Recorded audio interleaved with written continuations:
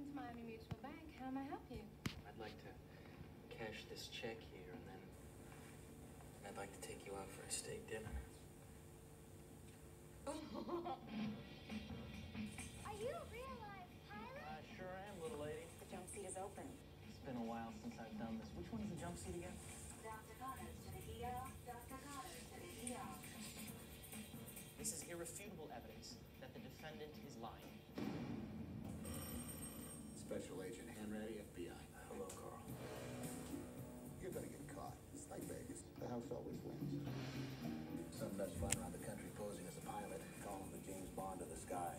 Hello, Pusher. This is by far the best date I have ever been on. He's a kid. That's why he doesn't have a record. Billion grams of codeine every four hours. Do you concur? I concur. Dr. Harris, Yes?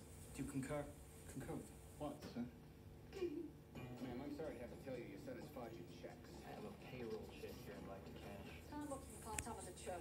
Just tell me how much yours and I'll pay you back. $1.3 million. And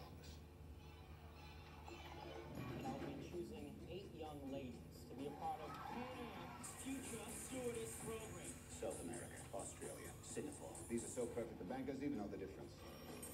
What do you want? To apologize. You didn't call to apologize, did you? You have no one else to call. I'm looking for your son. I would never give up my son. If you were a father, you'd know chasing me. I can't stop. It's my job. You see these people staring at you? They keep peeking over their shoulders, wondering where you're going tonight. Where you going, Frank? Don't tell me not to fly. I've simply got to.